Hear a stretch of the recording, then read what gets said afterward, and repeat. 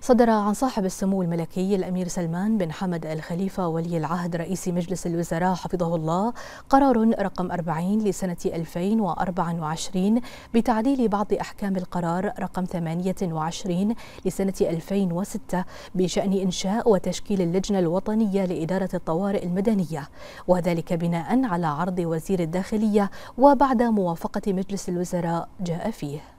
المادة الأولى يضاف بند جديد برقم 10 إلى المادة الأولى من القرار رقم 28 لسنة 2006 بشأن إنشاء وتشكيل اللجنة الوطنية لإدارة الطوارئ المدنية ويعاد ترقيم باقي بنود المادة تبعا لذلك نصه الآتي.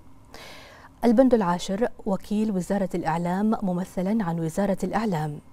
المادة الثانية تلغى عضوية مدير عام وكالة أنباء البحرين من تشكيل اللجنة المنصوص عليها في البند الحادي والعشرين من المادة الأولى من القرار رقم 28 لسنة 2006 بشأن إنشاء وتشكيل اللجنة الوطنية لإدارة الطوارئ المدنية.